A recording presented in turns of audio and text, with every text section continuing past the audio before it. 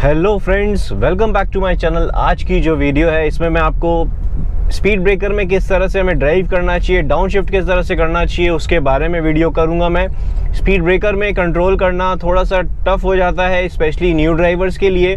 और जब हम स्पीड ब्रेकर क्रॉस कर रहे होते हैं तो हमारा क्लच का मूवमेंट या ब्रेकिंग या फिर एक्सीटर भी तीनों चीज़ प्रॉपर होनी ज़रूरी है, नहीं तो आपकी कार जो है तो जर्क करेगी या तो रुक जाएगी। आगे देखिए स्पीड ब्रेकर आ रहा है, मैं स्टॉप करूँगा ऑलमोस्ट कार को फ़र्स्ट गियर लगाया मैंने क्लच प्रेस करके। देखिए, मेरी कार पीछे आ गई है अभी। ये क्लच को रिलीज़ करूँगा मैं धीरे से और वापस प्रेस करूँगा जैसे ही स्पीड ब्रेकर पे चढ़ेगी। फिर क्लच रिलीज़ किया, फिर से प्रेस कर दिया मैंने, क्योंकि दो स्पीड ब्रेकर एक साथ थे। तो इस जगह में क्या करेंगे हम फ्रेंड्स जब हम क्लच प्रेस करेंगे, जैसे ही स्पीड ब्रेकर में पहुँचने वाले होंगे, सबसे पहले तो कार को हम थोड़ी सी स्लो डाउन करेंगे। स्लो डाउन करने का रीज़न ये है ताकि आपकी कार जर्क नहीं करे या बम्प नहीं करे। आराम से स्पीड ब्रेकर को क्रॉस कर ले, इसके लिए हमें क्या करना होता है? कार को पहले स्लो डाउन करना होता है। अभी देखिए आगे स्पीड ब्रेकर एक और आ रहा है। अभी मैं एक्सीटर को रिलीज़ कर लिया हूँ, थोड़ी दूर से ही।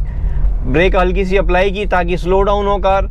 फ़र्स्ट गियर लगाया थर्ड गियर से क्लच प्रेस करके। ये देखिए, जैसे ही क्रॉस की स्पीड ब्रेकर फिर मैंने एक्सीटर को हल्की से प्रेस करके क्लच को रिलीज़ कर दिया है। इसी तरह से हम जितने भी स्पीड ब्रेकर हैं फ्रेंड्स वैसे ही क्रॉस करते हैं। आगे बहुत सारे स्पीड ब्रेकर आने वाले हैं। इनफैक्ट दो तीन भी आने वाले हैं। अभी मैं एक एक करके जो है वो क्रॉस कर रहा हूँ। और यहाँ देखिए, बहुत ऊँचा है स्पीड ब्रेकर तो और स्लो करना होगा। और मेरी कार जो है होंडा सिटी है लो है ग्राउंड क्लियरेंस ये देखिए, मैं थोड़ी सी तिरछी करूँगा। फ़र्स्ट गियर अप्लाई किया मैंने क्लच को रिलीज़ किया, जैसे ही क्रॉस की कार मेरी, फिर क्लच को रिलीज़ करके कार को आगे बढ़ा लिया मैंने।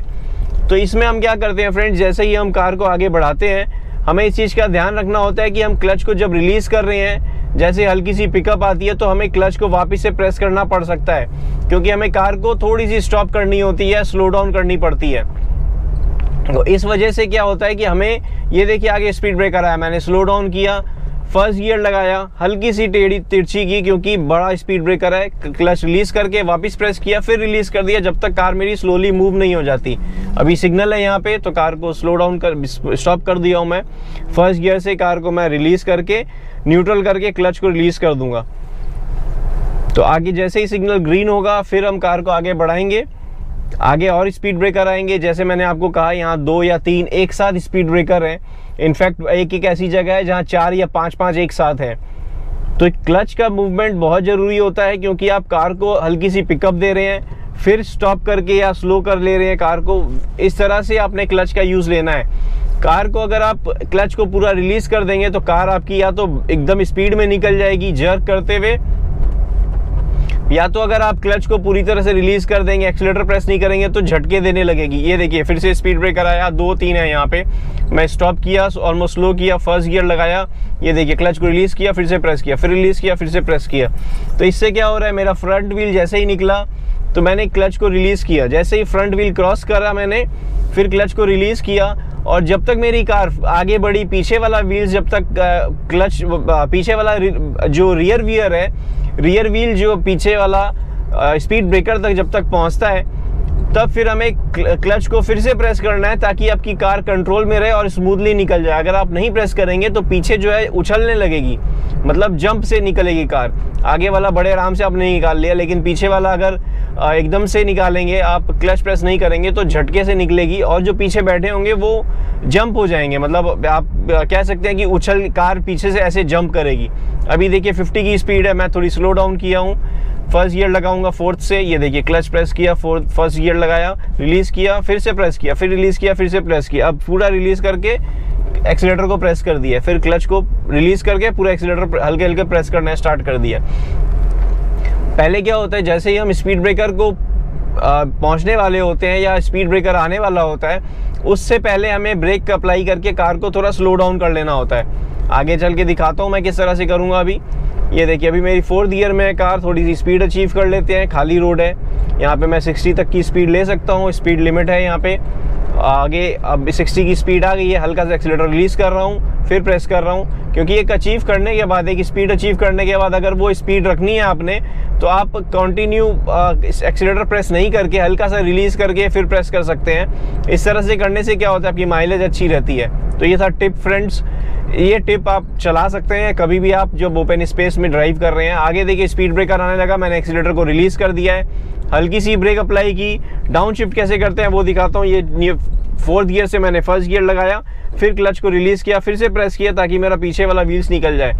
तो फ्रेंड्स डाउन शिफ्ट ज़रूरी है जब भी हम स्पीड ब्रेकर पे अचीव करने वाले होते हैं स्पीड ब्रेकर पहुँचने वाले होते हैं। क्योंकि अगर आप फोर्थ या फिफ्थ गियर में है स्पीड ब्रेकर क्रॉस करेंगे तो बहुत झटके में क्रॉस होगी कार। इनफैक्ट नीचे वाली जो आ, कार का नीचे का हुड लोकेशन है वो हिट हो जाएगा। इनफैक्ट बम्पर भी हिट हो सकते हैं। अगर आप बहुत ज़्यादा स्पीड में होते हैं आ, किसी भी स्पीड ब्रेकर में तो। तो स्पीड ब्रेकर का नाम ही इसलिए स्पीड ब्रेकर ताकि आपकी स्पीड को ब्रेक कर सके। अभी देखिए आगे जो स्पीड ब्रेकर आया मैंने हल्की सी ब्रेक ब्रेक अप्लाई की। सेकंड गियर थर्ड गियर में थी कार मेरी क्लच प्रेस किया फ़र्स्ट गियर लगाया। ये देखिए फ़र्स्ट गियर में क्लच रिलीज़ किया फिर से प्रेस किया ताकि मेरी कार मूव हो गई। अब मूव होते ही मैंने क्लच को देखिए रिलीज़ कर दिया है। तो दो बार हम क्लच प्रेस इसलिए कर रहे हैं फ्रेंड्स ताकि फ्रंट व्हील निकल जाए। फ्रंट व्हील निकलते ही आगे वाला व्हील जैसे ही आपका निकल जाएगा, फिर आप क्या है कि फिर से प्रेस कर लेंगे तो पीछे वाला व्हील बड़े आराम से, ये देखिए। फिर हल्की सी प्रेस रिलीज़ किया, ताकि मेरी कार में मोमेंटम आए। ये देखिए, यहाँ तीन स्पीड ब्रेकर था, तीनों को मैंने इस तरह से ही क्रॉस किया है। हल्का सा रिलीज़ किया क्लच को, फिर धीरे से प्रेस किया। मतलब हल, जब बाइटिंग पॉइंट पे पहुँचा मेरा क्लच, फिर मैंने जैसे ही मूवमेंट हो गई, फ्रंट व्हील निकल गया। बाइटिंग पॉइंट तक था क्लच, फिर पूरा प्रेस किया, ताकि कंट्रोल में रहे कार मेरी। फिर जैसे ही पीछे वाला व्हील निकला, फिर मेरे को मतलब जैसे क्लच को रिलीज़ करना था, वैसे रिलीज़ किया मैंने। ये देखिए इनकी पिकअप सुबह बाइक चला रहे हैं ये। ये देखिए, अभी मैं स्पीड ब्रेकर क्रॉस करूँगा। ये मैंने क्रॉस किया, फिर क्लच को रिलीज़ किया प्रेस किया, फिर से आगे अपनी कार को बढ़ा लिया। आपने क्लच का मूवमेंट देखा होगा फ्रेंड्स किस तरह से मैंने क्लच का मूवमेंट लिया ताकि मेरी कार जो है स्पीड ब्रेकर में स्मूथली मूव कर सके। तो ये बहुत ज़रूरी होता है। यहाँ पे आप देखिए लाइन से है मतलब विद इन फाइव मतलब फाइव हंड्रेड आधा किलोमीटर भी नहीं है। स्पीड ब्रेकर मिल रहे हैं। अभी तक जितनी भी पीछे से आया हूँ, हर जगह मुझे स्पीड ब्रेकर मिला है। आधा किलोमीटर के अंदर ही बीच बीच में एक स्पीड ब्रेकर आ रहा है। अभी देखिए, फिर से दो या तीन स्पीड ब्रेकर है। ये मैंने ब्रेक अप्लाई की। फ़र्स्ट ईयर लगाया, क्लच को रिलीज़ किया, फिर से प्रेस किया, फिर रिलीज़ किया, फिर से प्रेस किया। इस तरह से ही हम कंट्रोल करते हैं अपनी कार को, जब भी हम स्पीड ब्रेकर में होते हैं, क्लच रिलीज़ करते हैं, फिर प्रेस करते हैं, इसी तरह से कंट्रोल करते हैं अपनी कार फ्रेंड्स और अभी थर्ड गियर अप्लाई करके मैं कार को अपनी आगे बढ़ाने जा रहा हूँ।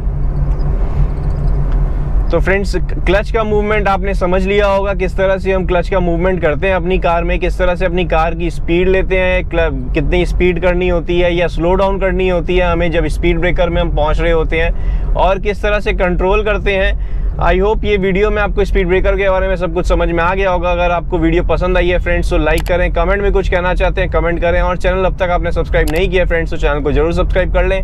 Thank you friends good day drive safely and take care